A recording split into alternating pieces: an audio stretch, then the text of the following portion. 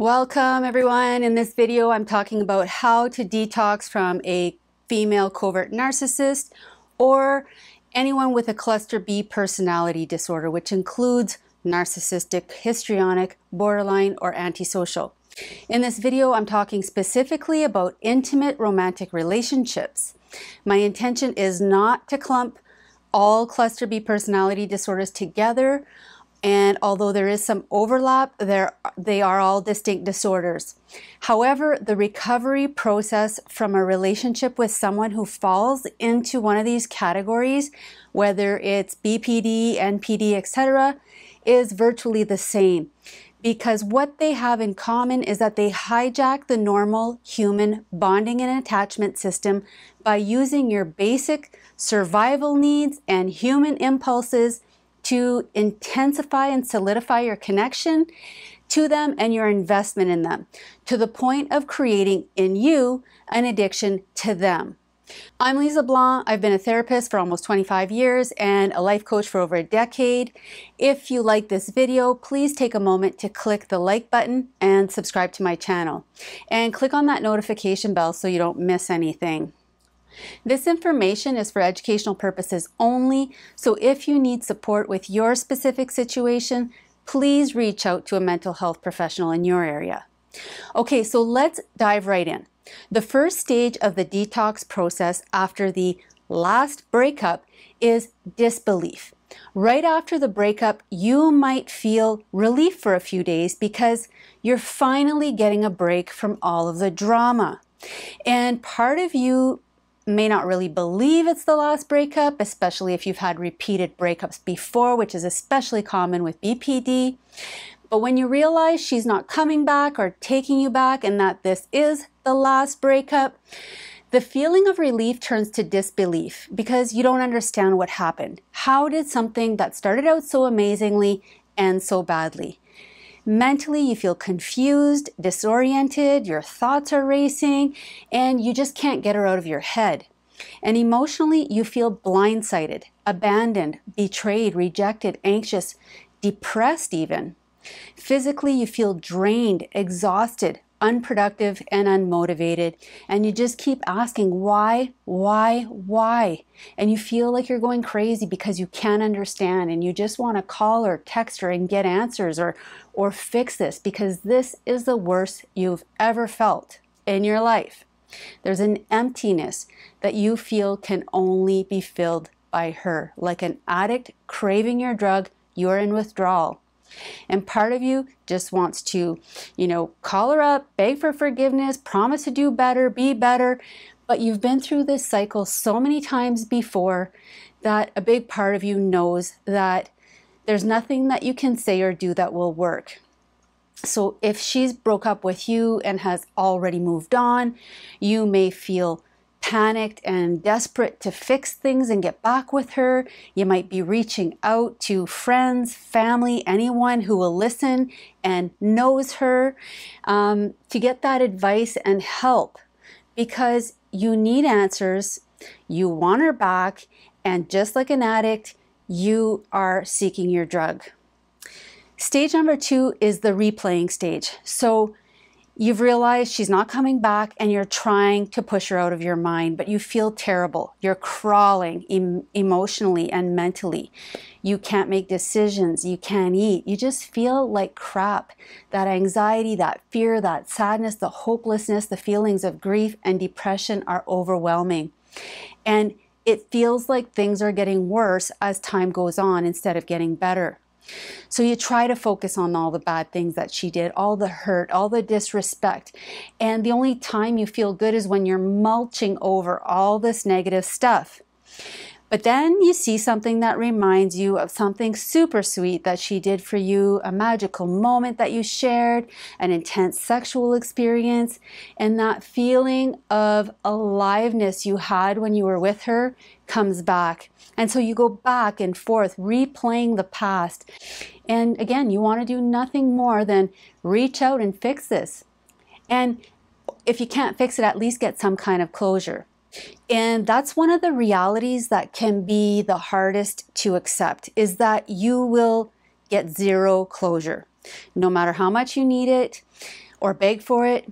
So you're stuck in this repetitive loop of replaying the relationship and everything that happened over and over, thinking of all the ups and downs and banging your head against a brick wall trying to figure out how this happened. Why did this happen? Then comes stage three self doubt.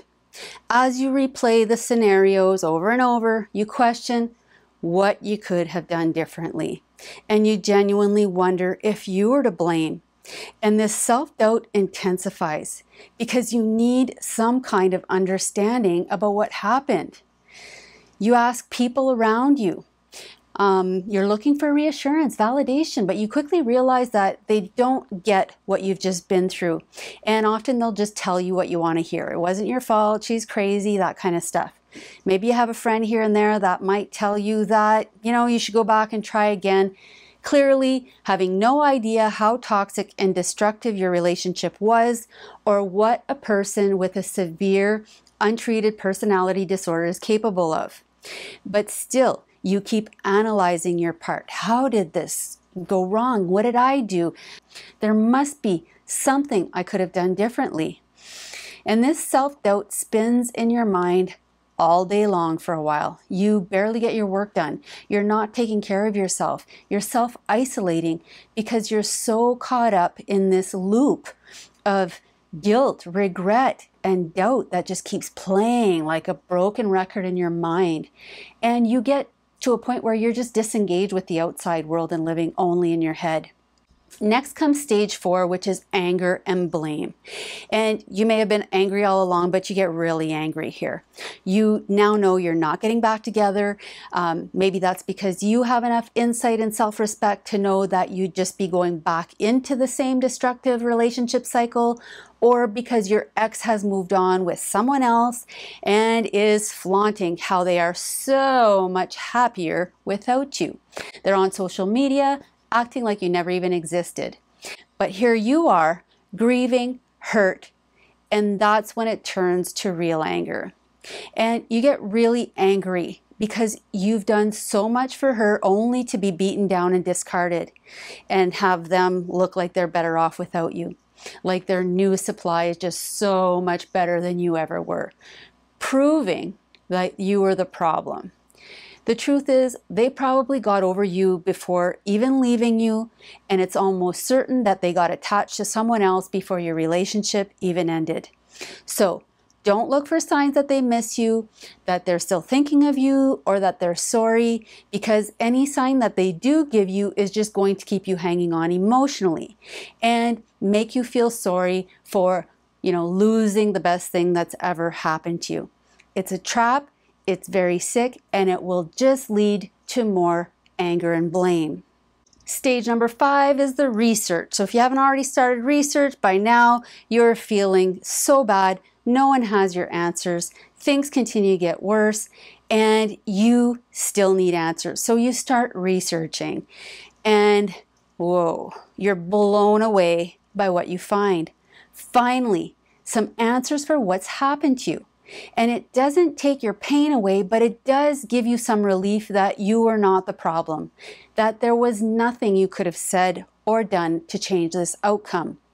But your emotions are still over the all over the place. So you're going from anger, blaming to longing, uh, crying, anxiety, reminiscing about the good times, the bad times, and it's just you have this insatiable need to dissect every little detail and to understand this at a deeper level. So your whole world starts revolving around your research and you just watch YouTube videos on and on and on. And so I would recommend you not only going no contact with your partner if possible, or if kids are involved, 100% gray rocking them. I also recommend stop researching because the research becomes the addiction. And it prevents you from rebuilding your sense of self, um, from moving through your healing process.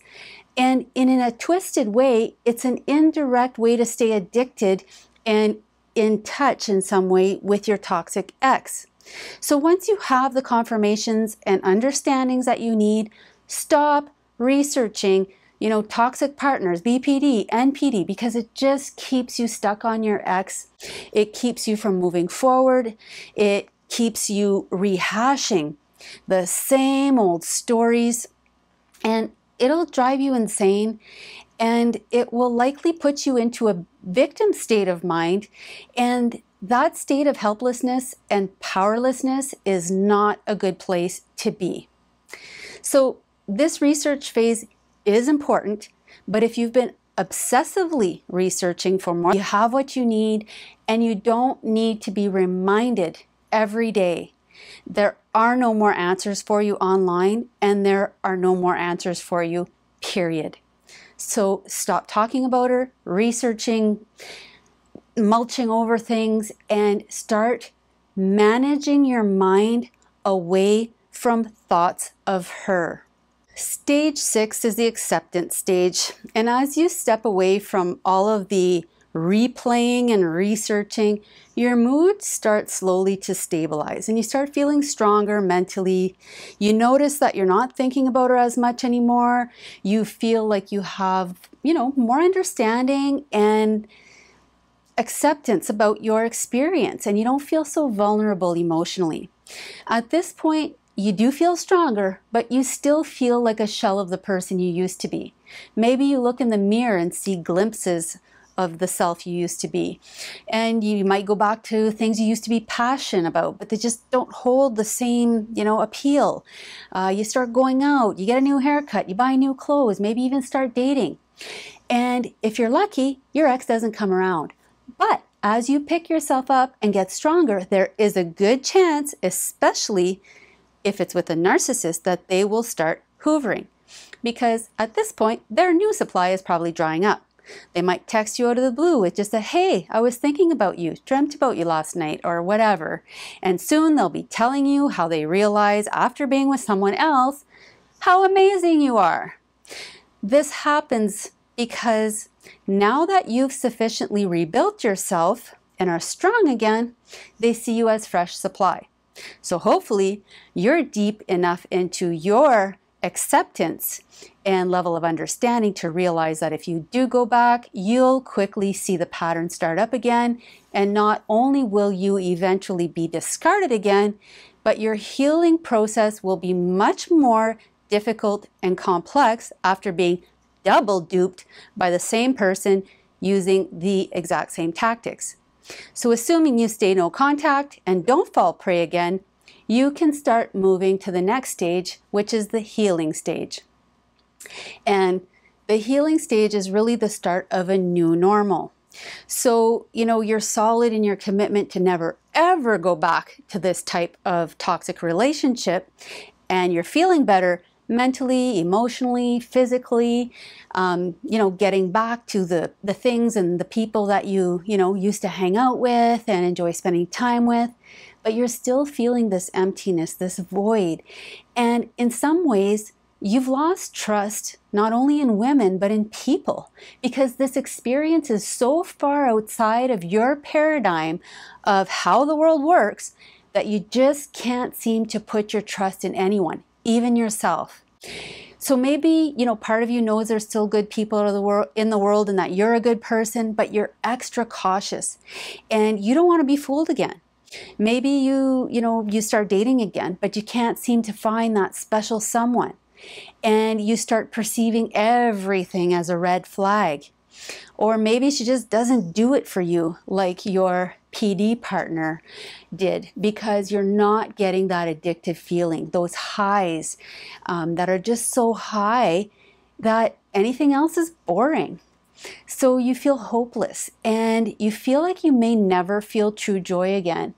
And so at this point, you usually start realizing that you're ready for the next step of your healing, which is committing to getting back to who you really are, what you really want to need, what made you vulnerable to this type of person, as well as what you need to let go of in order to move forward from the experience, to figure out how to use it as a catalyst for your own personal growth and empowerment rather than staying stuck in a black hole, a dark place that haunts you for the rest of your life.